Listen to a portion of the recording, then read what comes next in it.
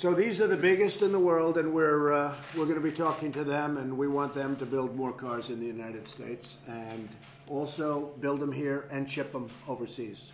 We're doing a reverse act, and that's going to be something I think that's happening, and we see it happening. A lot of it has to do with the great tax cuts and tax incentives that people have been given, uh, and we have other incentives coming. So we appreciate you all being here. And thank you very much, everybody. Appreciate it. Mr. Thank President, you. do you still have confidence in Administrator Pruitt, Mr. President? Yes, I do. Thank you. So he's gonna stay in his job? Thank you very much, everybody. All right, Thank you. go, go. Are you concerned Thank you NAFTA very much. the automakers? All right. Say it. Are you concerned that NAFTA may adversely affect these automakers? Well, we'll see what happens. We're negotiating NAFTA right now. I've never been a NAFTA fan, as you know. NAFTA's been a terrible deal for the United States, uh, one of the worst trade deals in history.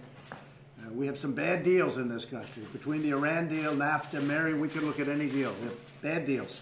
But now we're going to good deals. NAFTA has been a terrible deal. We're renegotiating it now. We'll see what happens.